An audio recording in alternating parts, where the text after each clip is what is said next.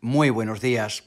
Había un administrador que fue acusado ante su amo de que estaba malgastando sus bienes, no estaba administrando bien aquellas cosas que le había encomendado el amo. Es lo que hoy nos dice el Evangelio, apuntillando de cómo los hijos de este mundo son más astutos que los hijos de la luz.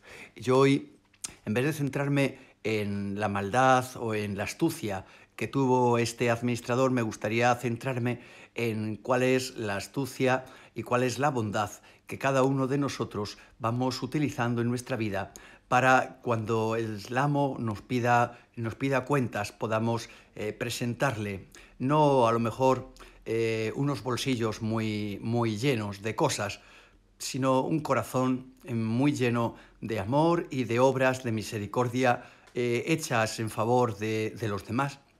Porque tenemos que tener en cuenta que, nosotros, eh, primero, no somos dueños de nada, somos administradores, administradores de las cosas de Dios, administradores de todo lo que Dios nos ha, nos ha confiado.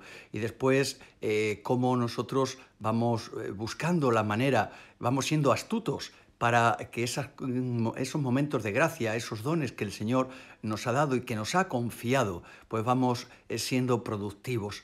Y creo que, ahí es donde nosotros tenemos eh, que pensar y reflexionar, porque todos un día vamos a, a, ponernos delante del amo y vamos a tener que rendir cuentas. Si el amo te llamase hoy para rendirle cuentas, ¿qué cuentas le presentarías al Señor?